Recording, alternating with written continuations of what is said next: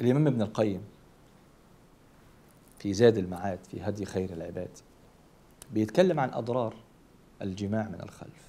بيقول إذا كان الله حرم الوطأ في الفرج لأجل الأذى العارض. ركز في الكلام ده. إذا كان ربنا حرم الوطء الجماع يعني في الفرج لأجل الأذى العارض الأذى العارض اللي هو يقصد الإيه؟ الحيض فترة نزول الدم. إذا كان ربنا حرم ده إنك ما تجامعش في الحيض عشان في أذى إيه؟ عارض لمدة خمس ست أيام.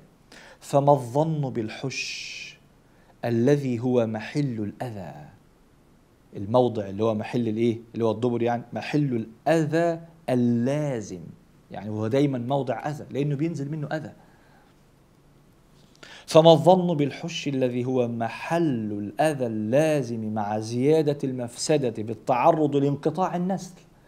يعني الواحد لو جامع زوجته من الخلف ده يؤدي آه قد يؤدي إلى انقطاع النسل. والذريعة القريبة جدا من أدبار النساء إلى أدبار الصبيان. وأيضا بيتكلم عن الضرر تاني. فللمرأة حق على الزوج في الوطء حقها عليه إنه يجامعها. ووطئها في دبرها يفوت حقها ولا يقضي وطرها ولا يحصل مقصودها. هي حقها إنها تتجمع فين؟ في القبل. لو جمعها في الدبر ما خدتش حقها. ده الطبيعي إنه يجامعها في قبلها. وأيضا فإن الدبر لم يتهيأ لهذا العمل.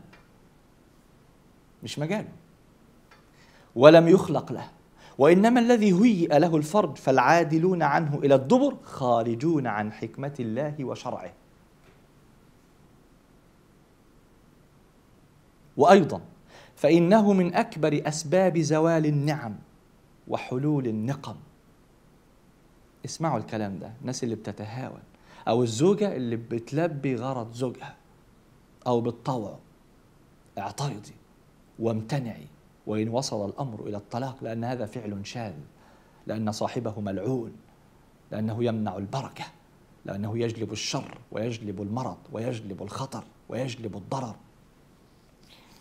وأيضا من أضرار الجماع في الدبر فإنه من أكبر أسباب زوال النعم وحلول النقم فإنه يوجب اللعنة والمقت من الله وإعراضه عن فاعله وعدم نظره إليه.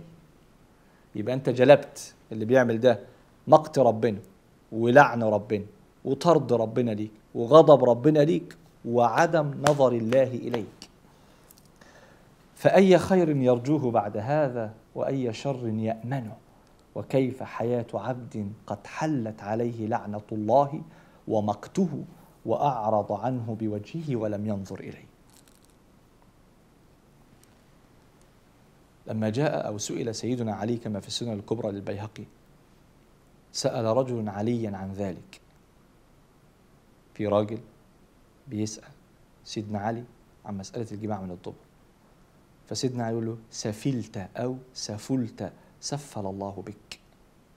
سفلت يعني أنت إيه؟ عملت حاجة تحت قوي من ال من ال من أسفل يعني من السفلي. سفلت أو سفلت سفل الله بك أما سمعت الله يقول. أتأتون الفاحشة ما سبقكم بها من أحد من العالمين؟ أتأتون الفاحشة ما سبقكم بها من أحد من العالمين؟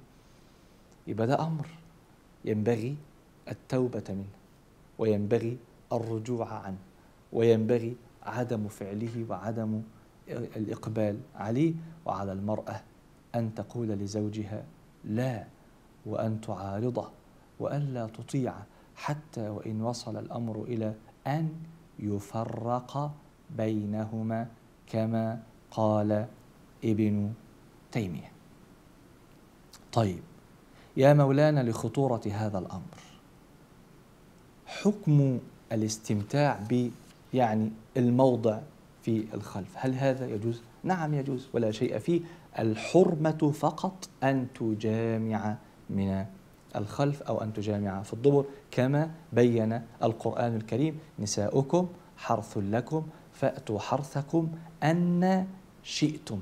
إيه الحرث؟ اللي هو موضع الحرث موضع القبل. مش إنك تجامع زي ما أنت عاوز لا.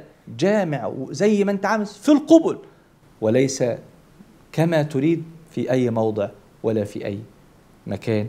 عندنا موضعين. متفق على حرمتهما. الجماع في الدبر والجماع وقت الحيض في القبل ما سوى ذلك؟ جاز للرجل أن يستمتع بزوجته وأن تستمتع بزوجها أعرف أن الموضوع حساس وأعرف أن الموضوع قد لا يروق لبعض الناس أو للكثير سواء من الرجال أو النساء لكن صدقوني هذه مسألة تناولها القرآن وتناولتها السنة وتناولها العلماء. كما ذكرت لحضراتكم قول ابن قدامة في المغني وقول ابن القيم في زاد المعاد وغيرهما بالإضافة إلى القرآن والسنة. كما أن هذه مشكلات تصلني وتأتيني وهي مشكلات أليمة وعصيبة. نسأل الله سبحانه وتعالى أن يوفق الأزواج لما يرضي الله سبحانه وتعالى